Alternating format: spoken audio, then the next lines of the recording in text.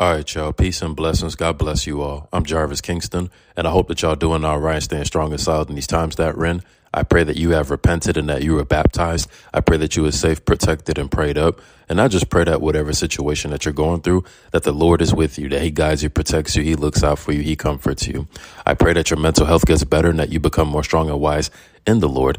I pray that you keep fighting a good fight of faith. You keep running your race. You keep your eyes fixed on the Messiah. You keep your eyes fixed on the prize. You stay on that narrow, straight gate path and you help out plenty of people along your journey forevermore. Amen. Always remember that the Lord will never leave you nor forsake you, and that the Messiah intercedes for you, the Spirit intercedes for you. So always stay thankful, grateful, appreciative, and take it one day at a time. Most definitely, let's thank the Lord for another day. Let us thank the Lord for giving us another day to seek His face. Let us thank the Lord for food in our belly, clothes on our back, and a roof over our head. Let us thank the Lord for protecting us coming in and going out, guiding us through the morning, getting us through the afternoon, getting us through the evenings, getting us through the nights, the week, the weekend, constantly looking out for us with His grace, mercy, favor, love, the outstretched arm of God, the mighty hand of God, the finger of God, His word, His only begotten Son died for our sins. There's so much things the Lord has done for us throughout our lifetime and continues to keep doing for us because His truth is everlasting and His mercy endures forever. Amen. So always keep Him first, always worship Him, always thank Him, praise Him, and trust Him through every situation you're going through. Amen. Hallelujah. Welcome everyone. I appreciate all of you for listening and support. It means a lot to me. I love you all, praying for you all. Let us always uplift each other in Christ and encourage each other in the Lord. Let us always pray for each other, intercede for one another, comfort each other, support each other. All those great, awesome, amazing things. Brothers and sisters of the faith all over the world, let's be together on one accord for the Lord. Amen. Much love to the 12 tribes of Israel scattered off four corners of the earth, all the scattered Israelites among the nations, all ends of the earth. Much love to the churches and mysteries out there with the sound doctrine, the peace, the love, the harmony, the fellowship, and the services. Much love to all the previous martyrs, current martyrs, and future martyrs, the brave, bold, isolated, courageous believers who are going through it for the gospel, who are being persecuted for the faith, who are going through many tribulations for his namesake. Stay steadfast, firm, strong, and diligent, and always stay on point for the Most High. Much love to the great tribulation saints down the road. Much love to all the grafted in Gentiles of all nations, tribes, languages, tongues, races, faces, kindreds all over the world. Much love to all the brand new converts out there, all the brand new believers, all the new creatures in Christ. If you just became a believer, God bless you. If you just repented, God bless you. If you just got baptized, God bless you as well. If you didn't repent and get baptized, repent and get baptized ASAP immediately. Amen. Shalom, family. Greetings, everyone. Much love to all of you. Welcome, everybody, all peoples, all nations, all tribes, all languages, all tongues, all races, all faces, all kindreds, everybody. Let everything that has breath praise the Lord. All the animals, all the creatures, all the beasts, all the fishes in the sea, the birds in the air, the trees, the plants, the mountains. Let all of God's creation praise Him. Amen. Whether you are an Israelite or a Gentile, it is all right. Whether you are chosen or adopted, grafted in, it is all right. Let us gather together and praise the Most High, sing a new song, clap our hands, stomp our feet, praise Him. Rejoice, always rejoice. Make a joyful noise, make a joyful sound, cry to Him, dance, express yourself, play an instrument.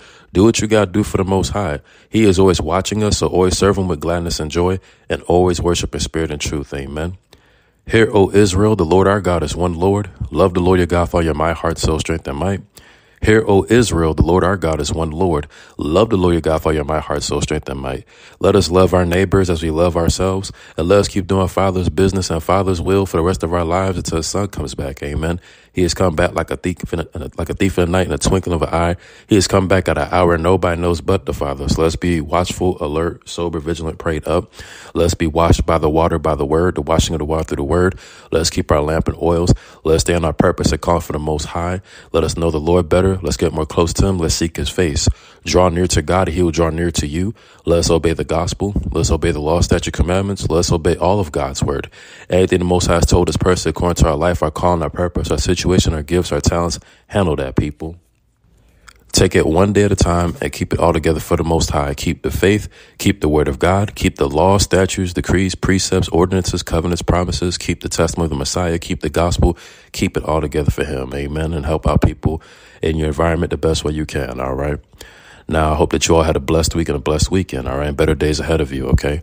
So today's message, what I love to do is go through Jen DeLeon's church note, and then from there we will close out with a prayer. We will close out with a priestly blessing. We will close out giving all the praise, honor, and glory to the Most High God of Abraham, Isaac, and Jacob, and praise His only begotten Son who died for our sins. Amen. Hallelujah. So here we go. All right. So here we go. The title of this church note is "Stay in Your Lane." If you're going to stay in your lane, you you're going to have to stay focused on your lane. The more you shift your focus on what's happening in another lane, little by little, you start turning the wheel in the direction of where your attention is. We get so busy looking at everyone else's journey that now we don't even believe in the very vision God has given us. Your attention is an investment. What return am I getting in this investment? When you value something, you give it attention, but also your attention gives things value. When you give your attention to negativity, you get a return on that as well. What did I get in return from that attention? I gave you attention for this drama and now I feel less than. I don't know if I trust God anymore. There are some people where if you give them attention, you get a value, but it's not in the place you want it. Your trauma, depression, and insecurity has more value. It became more valuable because I gave attention to something that fed it to something already living inside of me. Starve out the people who feed the things that make me feel insecure because I'm moving into a season in my life where I can't afford to be double minded. The only time I feel unstable is after I have engaged with you. Some people are on assignment from the enemy and don't even realize it. My assignment is to divide your attention. You won't have momentum to do what God has called you to do. It costs me something to pay attention. There are moments you need to see what's happening, but also have enough wisdom to know when you can't handle it anymore. There are moments you need to see what God is doing for other people because it motivates you, blesses you. But then you need to stop looking at what God is doing at the lives of other people because when you're finished, you come back to your life thinking, God, I don't see you moving at all in my life. The blessings don't just fall to our lives. We serve a God who paid attention to what we needed and gave it to us right when we needed it. God has already gone ahead of you. That means I'm paying attention before you step into the room. He's paying attention right now when you feel lost, forsaken, and confused. God says, I'm paying attention. I'm paying attention to everyone who walked away. I'm paying attention to everyone who betrayed you because when the time is right and you step into restoration, you'll see I didn't leave you and understood what you needed on the way. I know your life feels random and scattered, but I paid attention to you. God pays attention because he recognizes he's trying to keep you in your lane. Even when we serve, out of our lane, even when we swerve out of our lane, he shows up there too. The reason God is so committed to us staying in our lane is because he created this lane for us. And there are promises that are only manifest when you stay in your lane. When you stay in your lane, the weapons form, but don't prosper. I'm going to stay in this lane because there's promises connected to this lane. I'm going to stay in this lane because there are weapons I see forming and everything in me wants to step out of my lane to get out of target, but going to stay in my lane and trust in the Lord. Though he slay me, I shall trust him. The enemy is trying to scare you out of position, and God says the strategy is to stay focused on the lane. If you stay in your lane, despite what comes, I got you. While you're in your lane, I can't back up no foolishness. You have to get back in your lane. Somebody has been wanting to feel. Somebody has been waiting to feel when I am going to feel the strength of the new year, the momentum. I'm used to feeling a certain thing and it hasn't turned the corner yet because it's supposed to feel like that because your lane is getting narrow the book of Numbers, chapter 14, verses 6 through 12. Continuing, there's not enough room in this land for your pride, ego, or your associates, your comfort zone. You will know you're beginning to talk yourself out of the land that God has created for you when you become more practical than you do miraculous. It started in the spirit. Somebody in here has shrunk their dream and the vision God gave them to make it more practical than miraculous because it got so hard that you don't think the lane can be this narrow and survive. So I'll make it practical. Maybe I don't want that. I don't want what God wants from me. Maybe I want what I can do on my own strength. Sometimes God will use your enemies to uphold your blessing. I'm going to keep them in the promised land for you to get strong enough to overtake their position. You're worried because you see someone occupying the space. If everybody can get in, then we aren't able to qualify the work ethic required to maintain the land. You need some people to fall off. You need to know when the lane gets narrow, you need to know who really has what it takes. You need people to see it the way God looks at it.